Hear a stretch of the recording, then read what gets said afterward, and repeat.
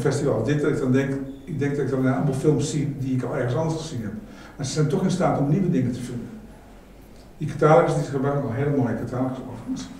Um, het zijn allemaal films waar ik nog nooit van gehoord heb, dat is prima. Je ziet ook gewoon vakgenoten die uh, vertellen gewoon een uh, anderhalf uur wat over hoe zij werken. Dat is natuurlijk ook heel erg, het is toch altijd een inkijkje.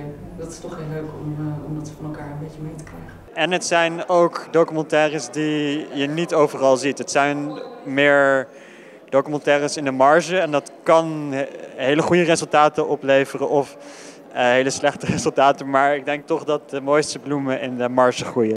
En tegelijkertijd een speciaal programma voor zeg maar, de professionals, hoe beginnend dan ook of hoe gevorderd dan ook. Dat is, ja, die hebben hele specifieke vragen die vaak voor het algemene publiek niet, niet relevant zijn. Dus dat, ik vind dat een heel zinnige kruisbestuiving, zeg maar.